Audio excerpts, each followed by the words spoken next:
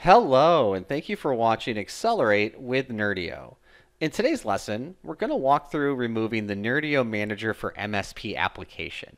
So this is the management functions, but not the resources that are actually running WVD or your environment. So Nerdio Manager for MSP can be removed without impacting your existing Azure WVD resources.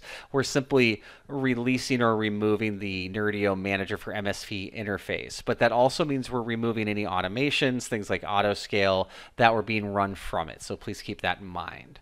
Um, so to complete this, we're going to remove the Nerdio Manager for MSP application resources and the application registration. Optionally, you can also remove the service principal. So we'll jump into Azure and take a look at that.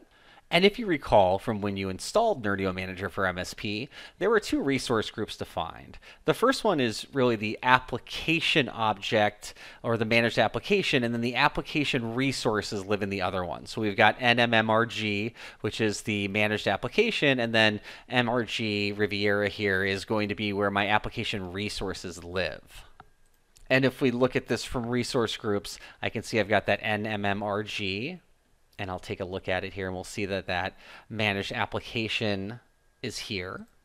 And so we would delete this exclusively um, or delete the entire resource group. And then if I go to the other resource group we discussed, we'll see the objects that were running the enterprise application or the managed application. So we would get rid of the SQL services, the Key Vault, the app services. So these six objects would need to go. In addition to that, you would want to go to Enterprise Applications, and we can see here that Web Admin Portal, this is where I was accessing Nerdio Manager. You're also going to want to click on that, and we'll go to Properties, and that will give us the option to delete that enterprise application from Azure.